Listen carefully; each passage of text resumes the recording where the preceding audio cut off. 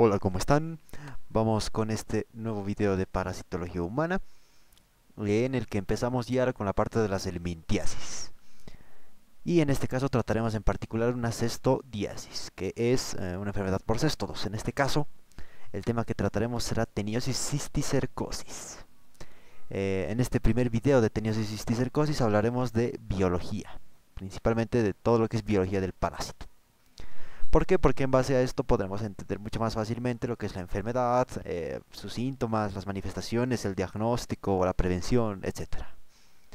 Entonces, si algo no está, digamos, muy claro en los términos, eh, eh, revisar y ver los capítulos de generalidades, ¿no? los videos y capítulos de generalidades. Bien, vamos a empezar con lo más importante que es definir. ¿Qué es teniosis? Es la enfermedad producto de la infección del, por adultos del género Tenia sp. Es eh, recalcar que es por adultos, no por otras formas biológicas, sino la infección por adultos, la enfermedad producto de la infección. Y del género Tenia sp, o sea que no nos interesa la especie, mientras el género que cause sea el género Tenia, entonces eh, se considera teniosis, ¿no? Muy diferente a lo que es la cisticercosis, que es la enfermedad producto de la infección por larvas del género TNSP. En este caso, larvas, hablamos de larvas. Las larvas, la infección por larvas origina una enfermedad que es la cisticercosis, a diferencia de arriba, que eh, la infección por adultos es la que origina la teniosis. En ambos casos, el género es Tenia SP. En el caso eh, de, SP decimos SP porque no nos interesa la especie, lo que nos interesa es el género.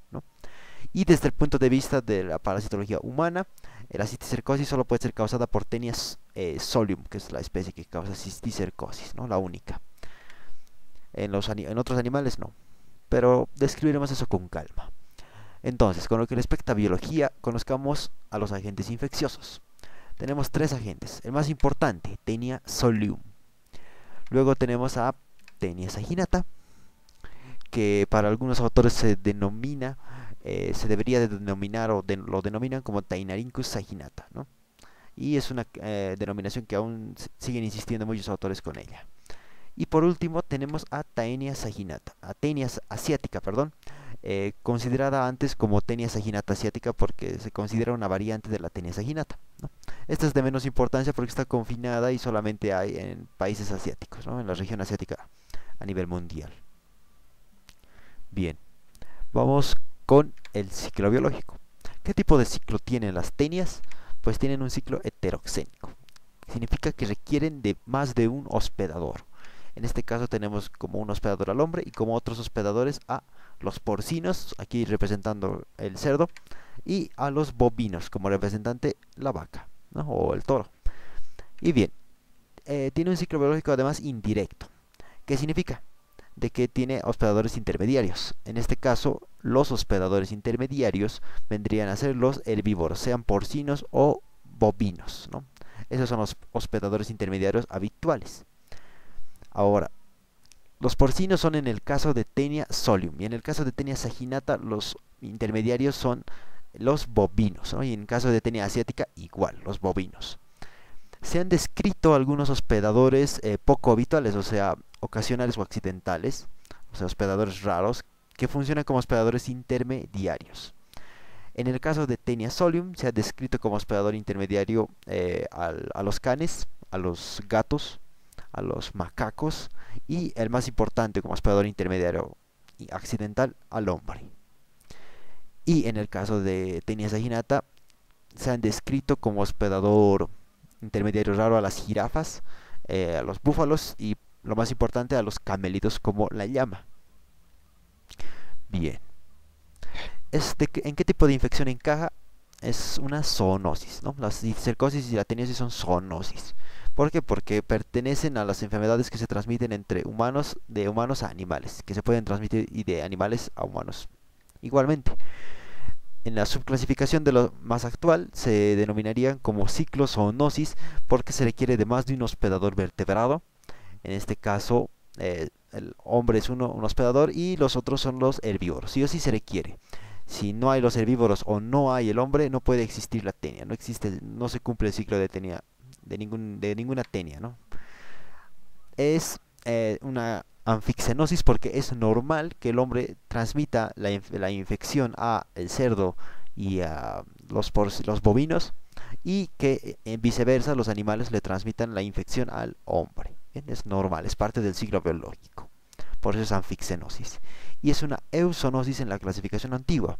¿Por qué? Porque es indispensable el hombre en el ciclo biológico. Si no existe el hombre, la parasitosis no existe. El parásito no existe, no existe la tenia. Bien.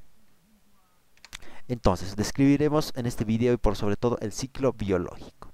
A medida que describamos el ciclo biológico, describiremos las particularidades que tiene cada especie de tenia y por sobre todo iremos describiendo la parte de la morfología y la fisiología a medida que describamos el ciclo biológico. Entonces, el ciclo biológico consta de tres etapas evolutivas, por eso aquí lo dividimos en tres. Como es un ciclo, podemos describirla desde cualquier parte podemos empezar a describir el ciclo desde cualquier parte porque al final volveremos al inicio. Por eso es un ciclo.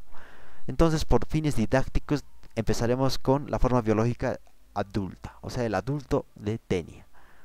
El adulto vive en el ser humano. El ser humano es el hospedador definitivo de, de Tenia y el adulto vive dentro de él. Entonces, cabe preguntarse, ¿cómo es un adulto? ¿Qué es un adulto? La forma. El adulto, es, al ser un céstodo, es un gusano plano, por eso es aplanado dorsoventralmente. Se lo, se lo considera como acintado porque parece una gran cinta. Es bastante largo en tamaño.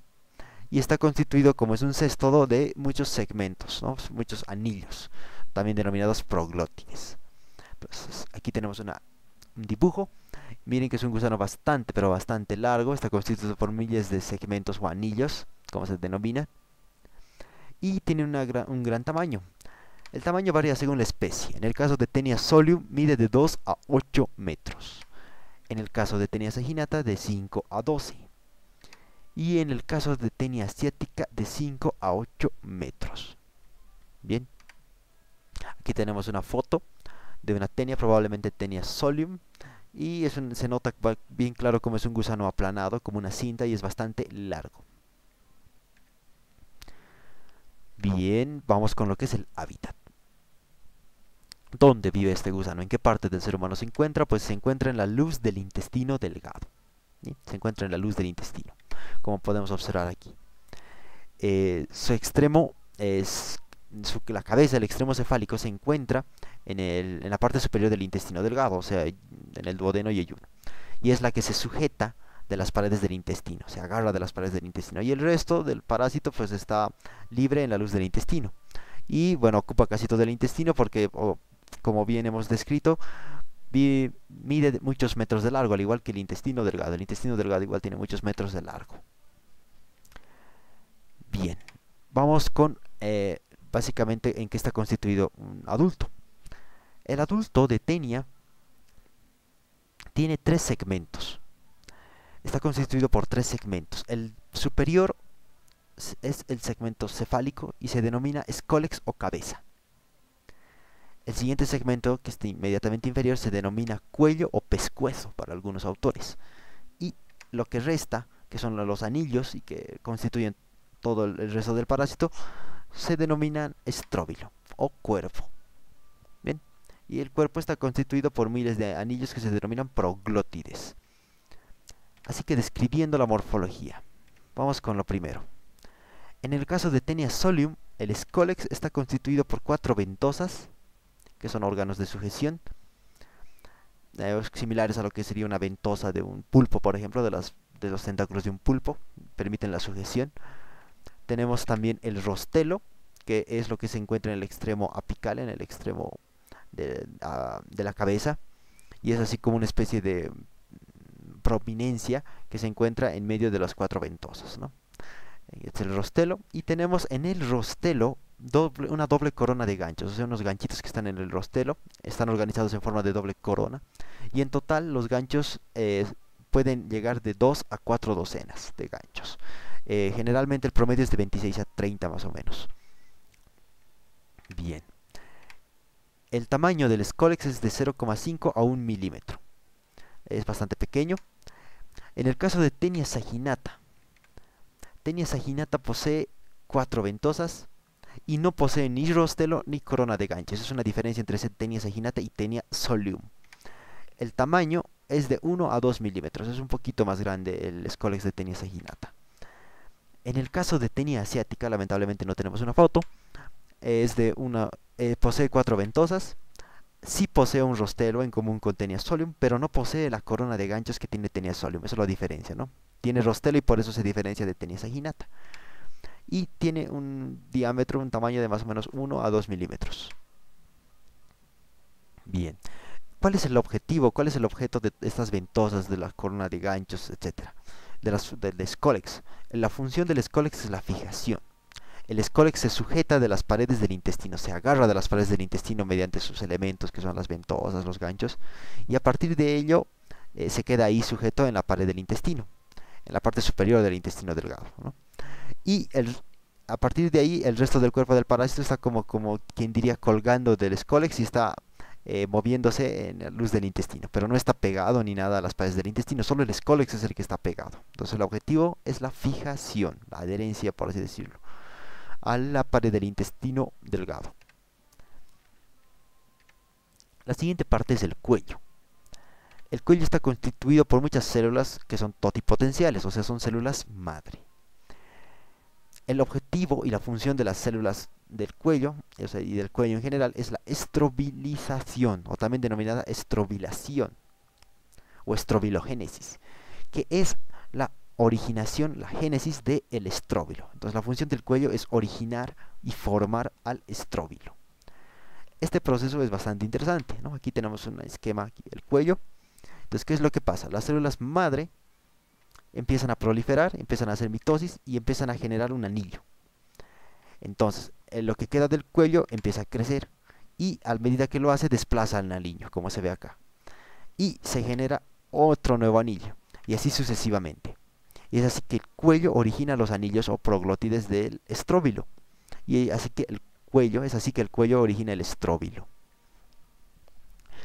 Es por eso que eh, los anillos que están más cerca del cuello son los más jóvenes y los que se mientras más viejos sean los anillos se van alejando porque son desplazados por anillos más jóvenes entonces los anillos que se encuentren más distal al cuello que sean los más eh, eh, eh, que, que, pertenezcan al extremo más caudal son los anillos más antiguos son las proglótides más antiguas más por así decirlo viejas. Y las más jóvenes son las que están más cerca del cuello y a medida que las proglótides se alejan del cuello van creciendo van aumentando de tamaño.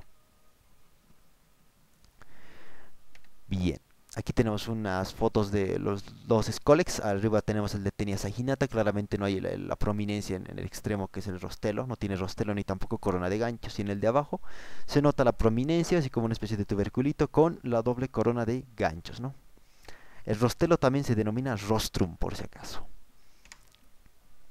Y describiendo la parte del estróbilo. ¿Cómo está constituido? Está constituido por muchos anillos denominados proglótides. Bien, estos anillos, ¿qué son? Son unidades morfológica y funcionalmente independientes. ¿Qué significa? Que dentro de cada proglótide están todos los órganos necesarios para el desarrollo del ser vivo. Significa que dentro de cada proglótide están todos los órganos y sistemas necesarios. Cada proglótide tiene su propio sistema eh, nervioso, su propio sistema de locomoción, su propio sistema reproductivo masculino y femenino, y su propio sistema de eliminación de desechos ¿no? y de nutrición. Entonces cada proglótide es independiente, es como un ser vivo independiente. Cada proglótide es por sí sola eh, capaz de reproducirse y hacer todas las funciones biológicas. Entonces aquí tenemos ah, un esquema de una proglótide. Se nota claramente cómo tiene todos los órganos adentro. Eh, se ve el ovario, eh, los lóbulos ováricos, el útero, los testículos, todas las glándulas, el poro genital, los músculos, etc. Entonces, ¿qué recalcamos de eh, la proglótide. Primero, esto, que es la parte externa, o sea, el tegumento, la piel, por así decirlo, de la proglótide. El tegumento de la proglótide está constituido por microtricos, que es básicamente como las microvellosidades del intestino delgado. ¿no? Tiene muchos repliegues microscópicos, que son los microtricos o microtriquias para algunos autores. La función es de la nutrición. Como son como microvellosidades, tienen la misma función que el intestino, aumentar la superficie de absorción para poder absorber sustancias y nutrientes. La tenia y las proglótides en sí no tienen aparato digestivo. Por ende, para obtener nutrientes tienen que vivir en el intestino y por eso viven ahí. Y los nutrientes que, le, llegan al intestino los absorben ellos. Esperan a que el, eh, el hospedador digiera el alimento, porque ellos no tienen aparato digestivo, y una vez que el hospedador digiere el alimento, estos aprovechan y absorben los nutrientes. Entonces le quitan nutrientes al hospedador. Otro elemento que destacamos son los lóbulos ováricos, que son estos de acá. Y tenemos también otro, como otro elemento al eh, poro genital que tiene un esfínter en algunos casos, es el esfínter vaginal. Es allí donde ocurre la fecundación y de ahí se pasan eh, los huevos al útero y ahí se, se desarrollan. Y en esta región de acá, en la parte externa, limitando entre la piel y los órganos internos de la proglótide, tenemos esta región, que está constituida por la musculatura de la, eh, proglótide. ¿no? Algunas proglótides tienen más musculatura, otras menos. Entonces, en base a estos, tres elementos, destacamos algunas diferencias entre las proglótides.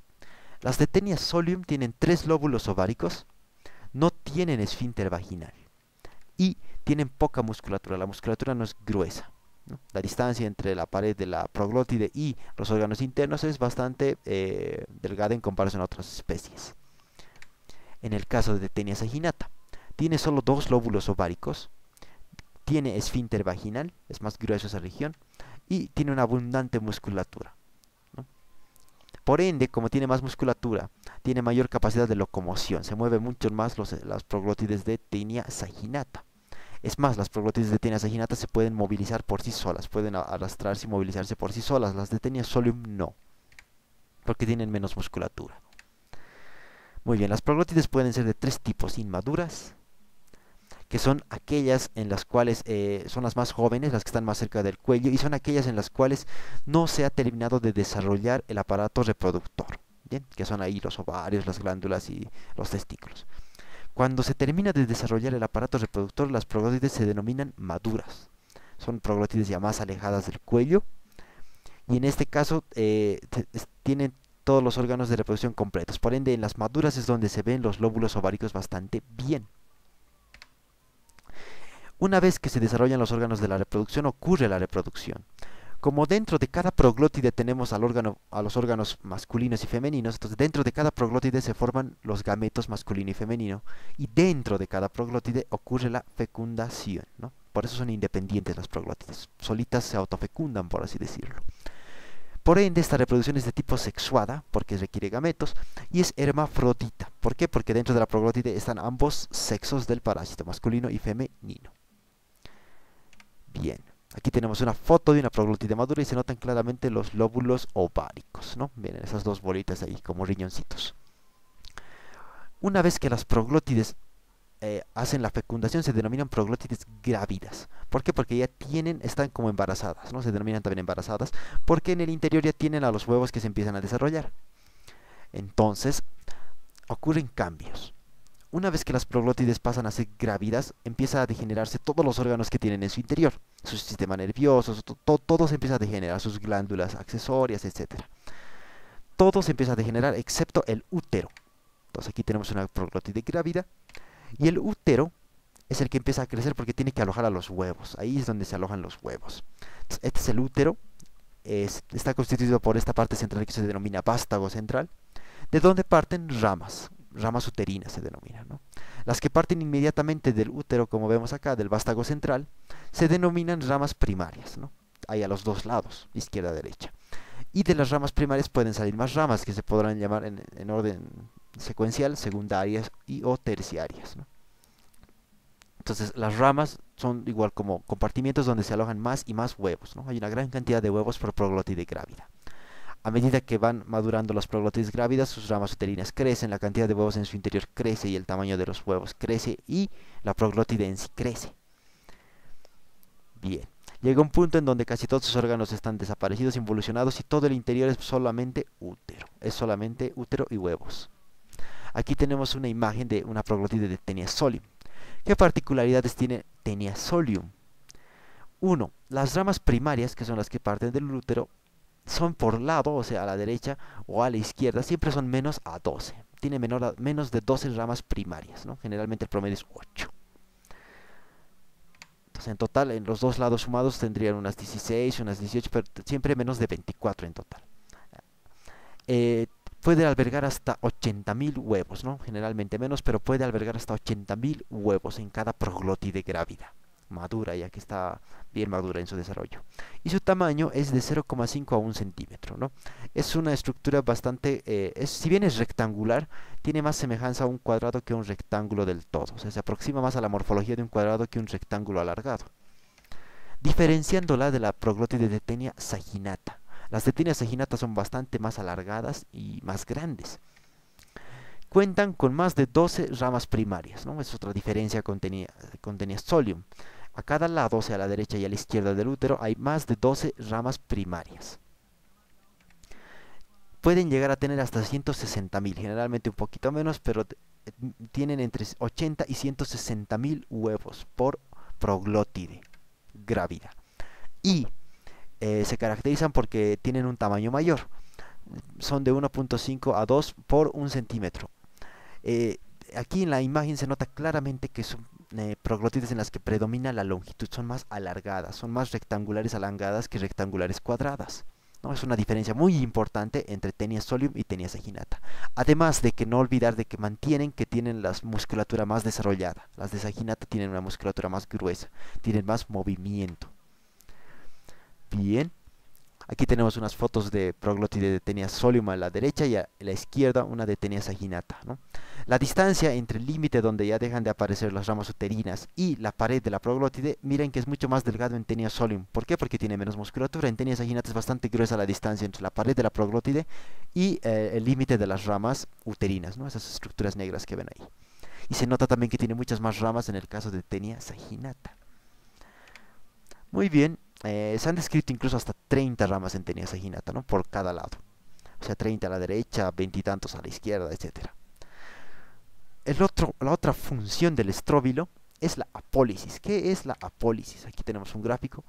La apólisis es la eliminación de las proglótides. Entonces las proglótides más maduras, las que están más alejadas, las que están en el extremo caudal, o sea que están en la cola básicamente, del estróbilo, se van desprendiendo del estróbilo como anillos. ¿no?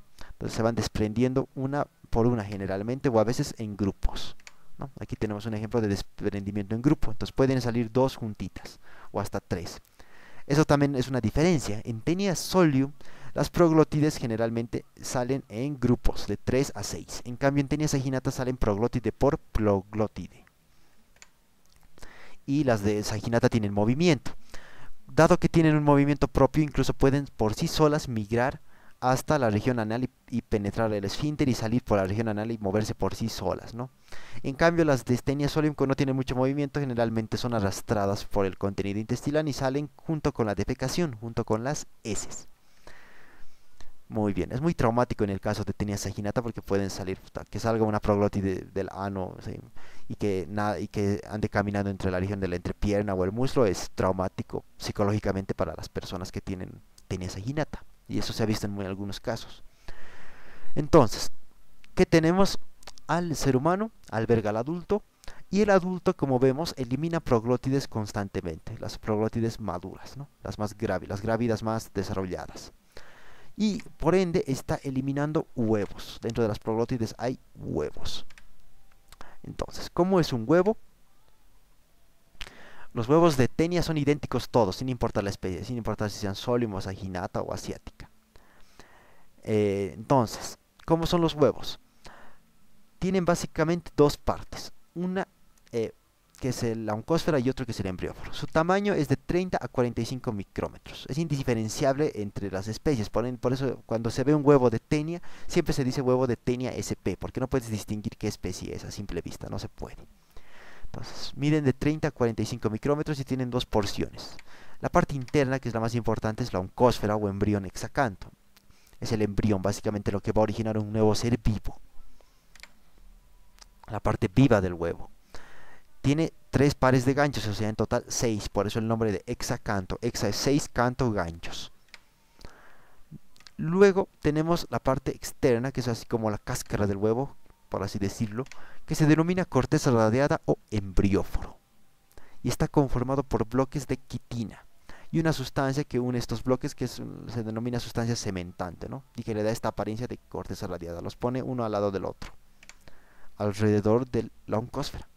Algunos autores describen una tercera parte y que me parece muy importante, que es la membrana oncosferal, que separa la oncósfera de la corteza radiada. Bien, ¿cuánto puede vivir un huevo una vez que sale al ambiente? Que sale con las proglótides, en el ambiente puede vivir hasta 335 días, más o menos, ¿no? Eh, en una temperatura más o menos de 4 grados. Obviamente esta cantidad de vida que puede estar en el ambiente varía dependiendo de las condiciones, la temperatura del ambiente, el agua, la humedad, el sol, etc. Pero esto es, un, digamos, un estándar descrito en algunos libros.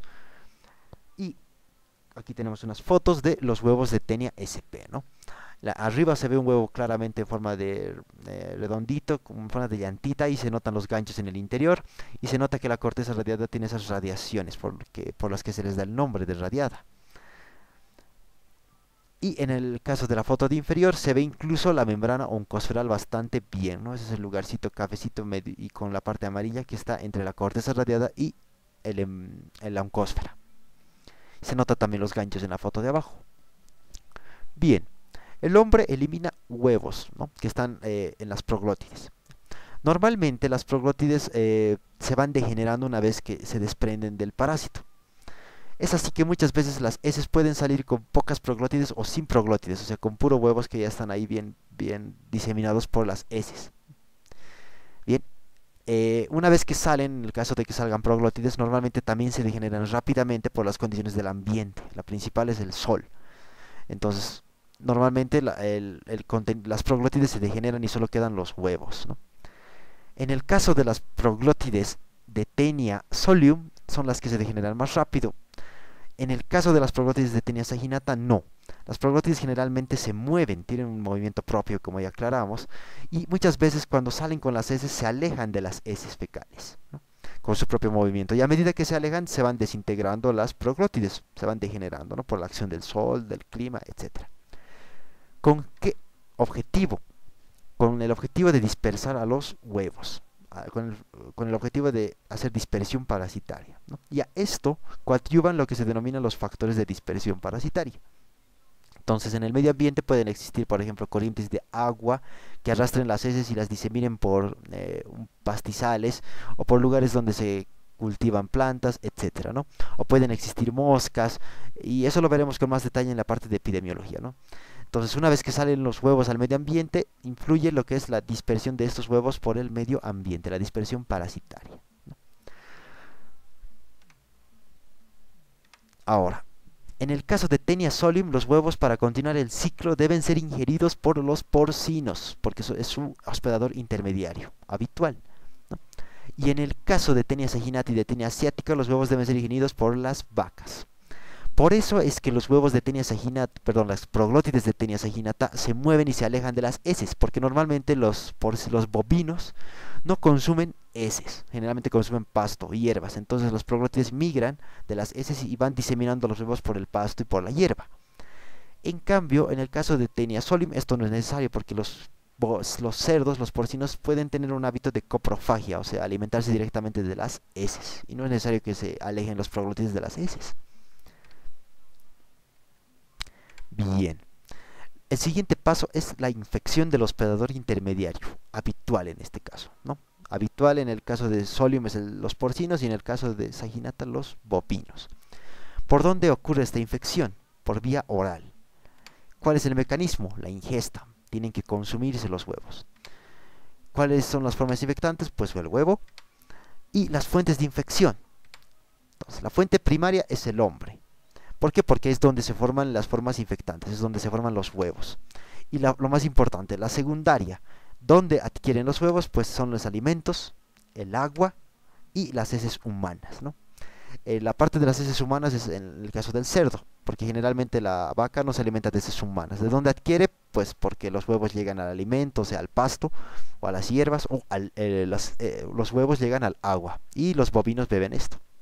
En el caso del cerdo, generalmente es puede ocurrir la ingesta de heces humanas directamente. Como es el lugar de donde se adquieren, esas son las fuentes de infección secundarias. Ahora, ¿qué es lo que ocurre una vez que se ingieren los huevos? Los huevos llegan al estómago. En el estómago empiezan el proceso de digestión de la cáscara de la corteza y pasan al intestino delgado. En el intestino delgado del hospedador intermediario se termina de digerir la corteza radiada y queda solamente la oncósfera y la membrana oncosferal. Entonces, las secreciones que han hecho esta digestión, como ser el jugo pancreático y las sales biliares, son las que activan a la oncósfera. Mandan la señal para que la oncósfera rompa la membrana oncosferal y salga por sí sola y se libere de la membrana oncosferal. Una vez que la oncósfera está libre en la luz del intestino delgado, busca las criptas del Lieberkühn, se moviliza hacia las criptas del Lieberkühn y ingresa en ellas. Y una vez ahí empieza a penetrarlas hasta llegar a la mucosa del intestino.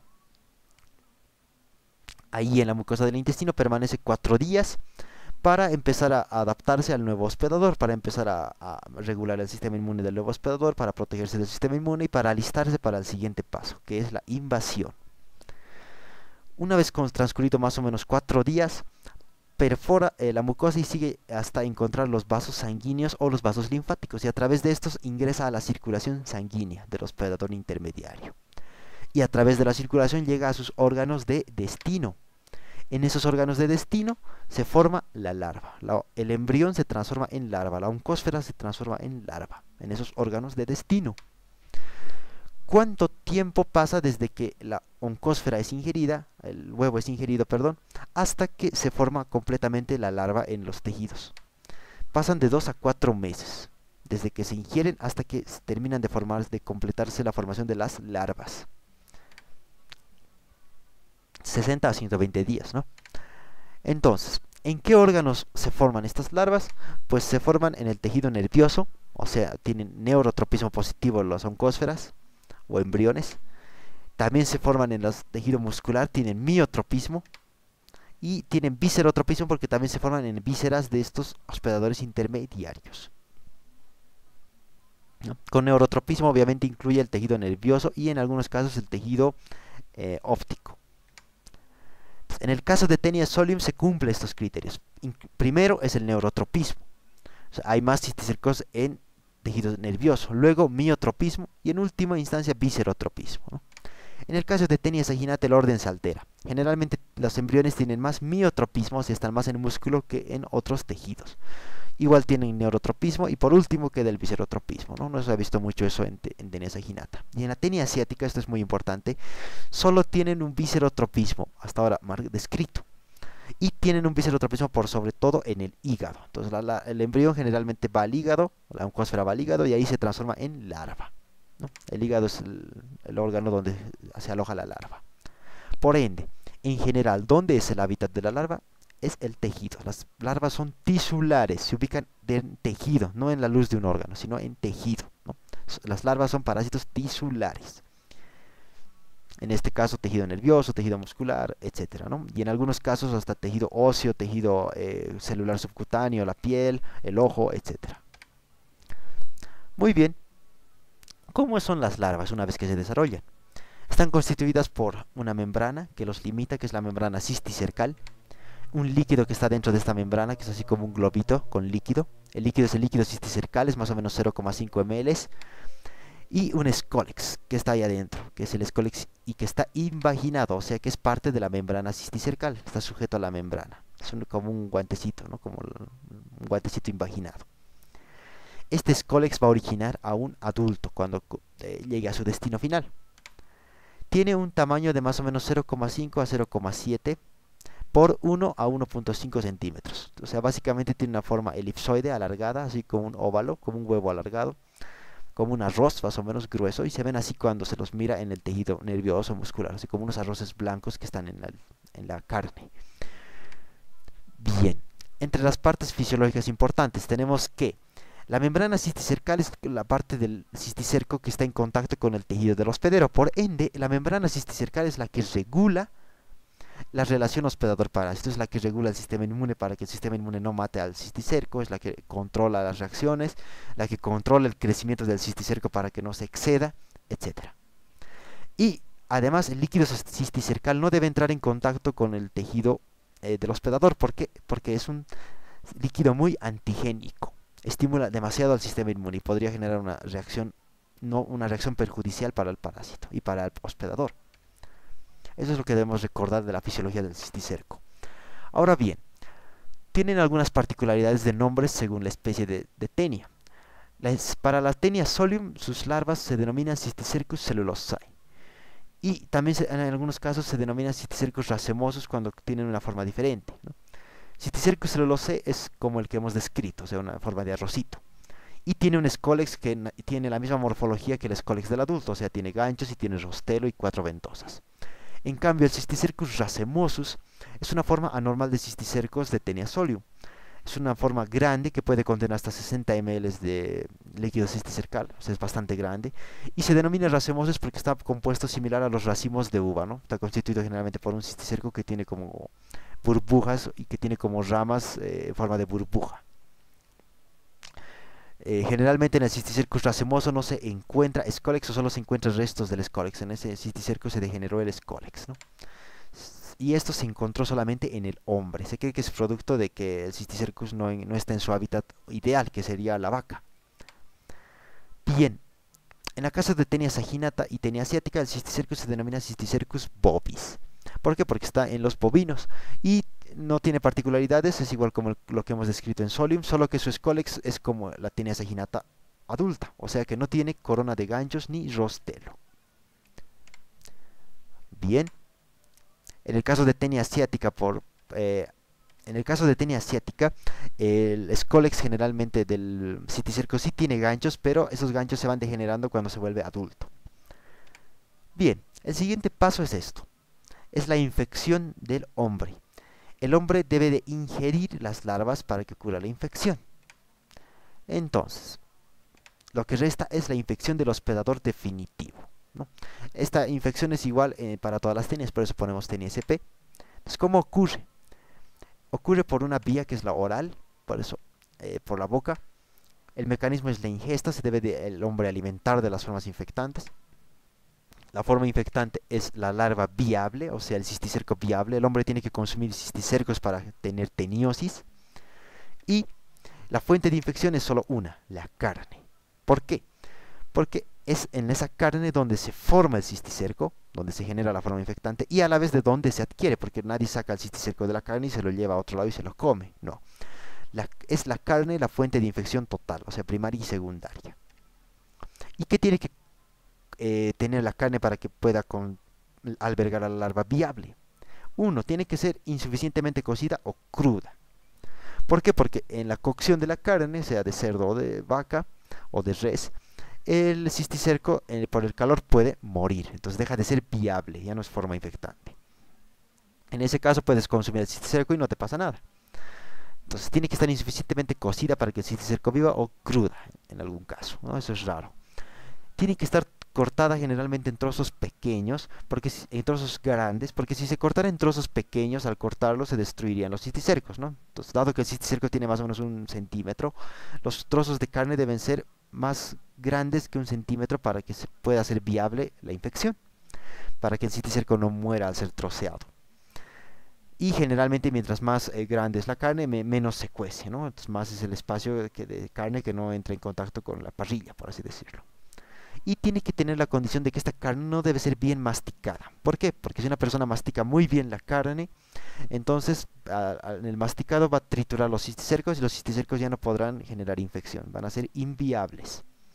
Entonces para que la larva sea viable se requieren estas condiciones. ¿no? Se debe de ingerir carne que tenga larva viable.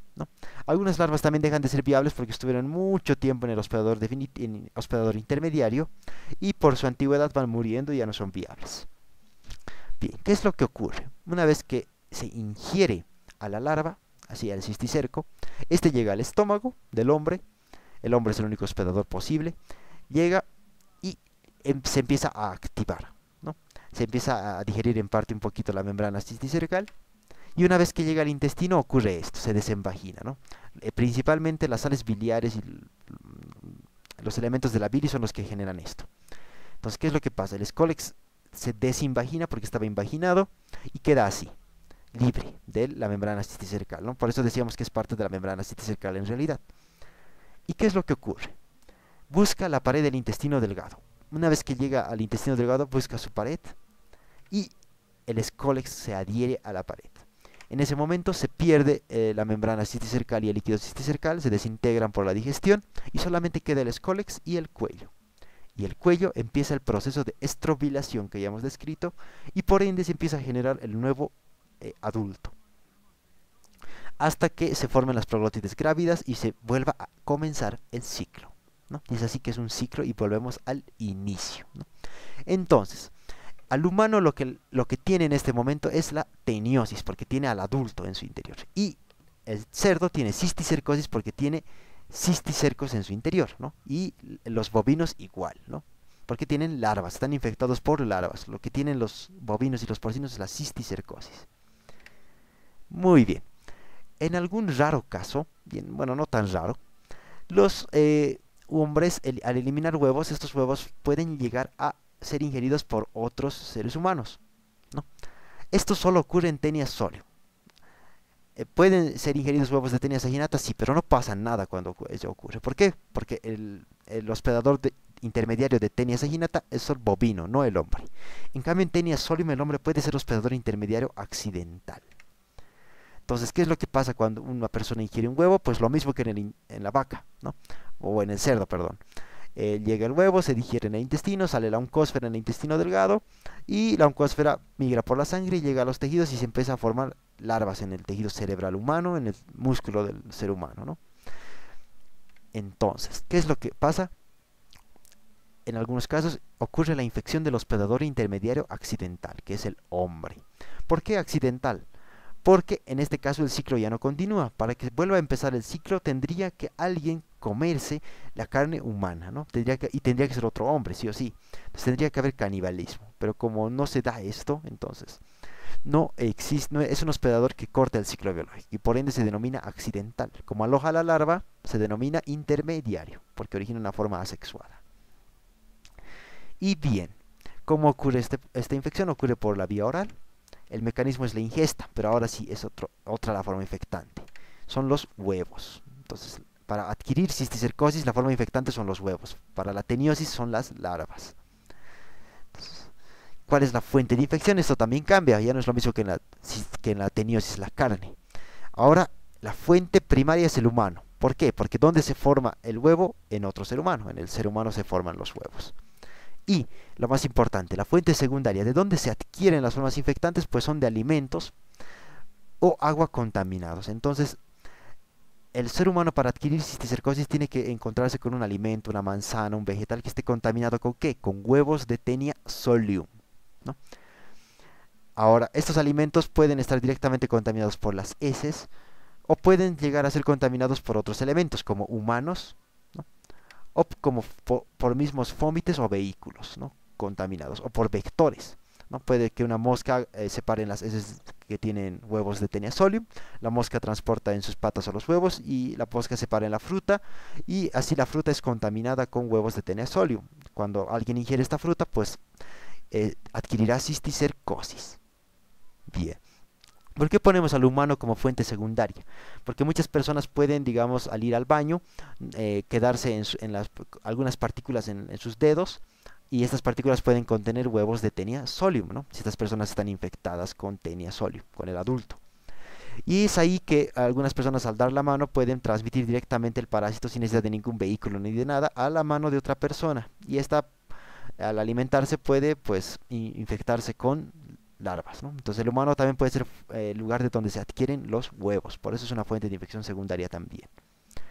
Y con vehículos recordemos que el agua puede estar ahí y también eh, la tierra. En algunas personas que consumen tierra y esta puede estar con huevos de tenia. ¿no? Eso se llama geofagia, consumir tierra. Ah, me olvidaba, muy importante. En algunas ocasiones, la persona que tiene un adulto de tenia solium elimina proglótides y, y huevos. Y la misma persona que está haciendo esto puede llegar a consumir esos huevos por algún accidente, ¿no? Como vemos, eh, al salir del baño puedes contaminarte con los huevos y bueno, los huevos que están en tu mano consumes con esos alimentos y te vuelves a infectar. Pero en este caso lo que ingieres es huevos, no ingieres larvas. Entonces lo que va a resultar en tu cuerpo es la formación de larvas. Cuando ingieres huevos lo que se forma en tu cuerpo son larvas. Entonces, ¿qué es lo que pasa con esta persona que tenía teniosis? Ahora tiene también cisticercosis. Es así que en una persona pueden convivir la teniosis y la cisticercosis. Entonces, este proceso se denomina autoinfección externa, porque la persona se infecta a sí misma, pero los parásitos salen al exterior en algún momento. Y en algunos casos ocurre lo que se denomina autoinfección interna. Cuando ocurre eso, cuando el parásito no sale de ninguna forma del cuerpo. Cuando pasa esta situación, pues en algunos casos en los cuales, bueno, las proglótides que son liberadas caen al intestino delgado para ser eliminadas, muchas veces retornan hacia el estómago. O sea, estos huevos retornan hacia el estómago. ¿Por qué? ¿Por qué retornan al estómago? Pues por un mecanismo que se denomina retroperistaltismo. Es un mecanismo que produce el intestino del hombre y que generalmente eh, constituye en, con llevar la comida en dirección oral. O sea, en vez de que bajen al, al, ano, la comida del intestino asciende hacia el duodeno o hacia el estómago. ¿no? ¿Por qué ocurre esto? Pues porque es parte del mecanismo del es vómito. Entonces, cuando una persona vomita, ocurre un retroperistaltismo en su interior. Y eso hace que el contenido del intestino pueda subir al estómago. Entonces, los huevos que están en el intestino pueden subir al estómago. Y una vez en el estómago, pueden digerirse. Eh, se libera la oncósfera en el intestino delgado. Y bueno, pues la oncósfera penetra en la sangre y ocurre la, la formación de larvas en tejido nervioso, en tejido muscular, etc. Y la persona, ¿qué pasa? Tiene una cisticercosis, además de su teniosis. ¿no? En este caso el parásito nunca salió del cuerpo y por eso se denomina autoinfección interna. Entonces, la autoinfección interna ocurre en personas y externa ocurre en personas que tienen teniosis y que adquieren cisticercosis. ¿no? Y esto solo ocurre en tenia solio. Recalcar que las eh, generalmente en la parte del músculo están generalmente en los músculos más irrigados y que tienen más actividad, como por ejemplo los abductores o eh, los, los músculos glúteos, ¿no? o en algunos casos algunos que otro pectoral o deltoides. Bien, entonces con esto terminamos. Espero que haya quedado la diferencia clara entre teniosis y cisticercosis y gracias por su atención.